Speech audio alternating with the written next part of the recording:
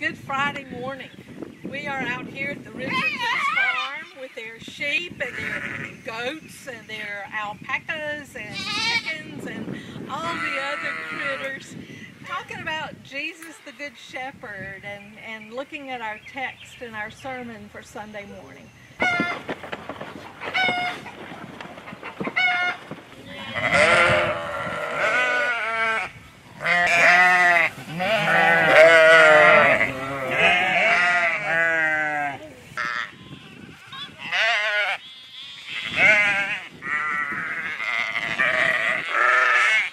I think the major connection I've had with having sheep and my relationship with God is the personal connection that comes along with each and every animal.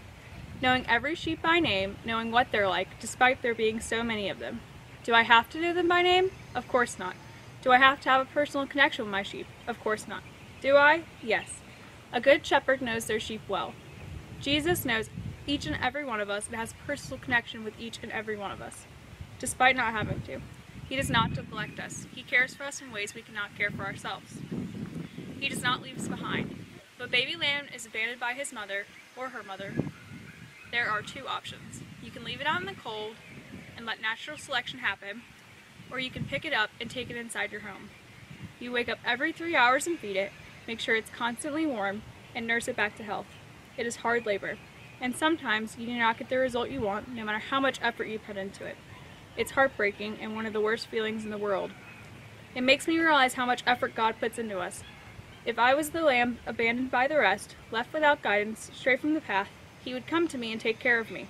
He would defend me from the cold, take me into His arms, and make sure I was healthy. And if I fall back into the wrong path, He is not disappointed. He will still come to me every time I have fallen and take me back in, over and over, no matter how many times I disappoint. I invite you to join us at 10 o'clock uh, on Facebook, on YouTube, on our on our website, uh, and, and hear what being a, a caretaker for sheep has to do with the way that Jesus loves and cares for all of us. Yeah, goats can sometimes be stubborn, and so can we.